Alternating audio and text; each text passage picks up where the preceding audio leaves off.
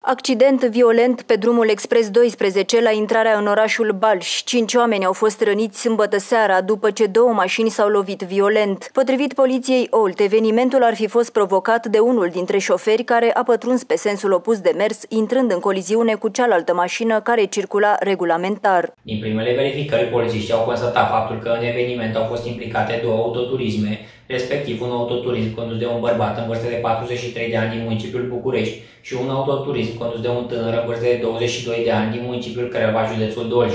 În urma evenimentului rutier, 5 persoane au necesitat îngrijiri medicale, fiind transportate la Spitalul Orăcenesc Balș. Au acționat echipaje Smurt Balș și Slatina, un echipaj pentru descarcerare din cadrul detașamentului Slatina și o autospecială de stingere prevăzută cu accesorii pentru descarcerare. În urma impactului, unul dintre șoferi a rămas încarcerat, fiind scos de pompieri dintre fiarele mașinii. El nu a putut fi testat de polițiști pentru a se stabili dacă a consumat alcool. Tânărul în vârstă de 22 de ani a fost testat cu aparatul etilotest, rezultatul fiind negativ, iar bărbatului de 43 de ani au fost prelevate mostre biologice de sânge la unitatea spitalicească.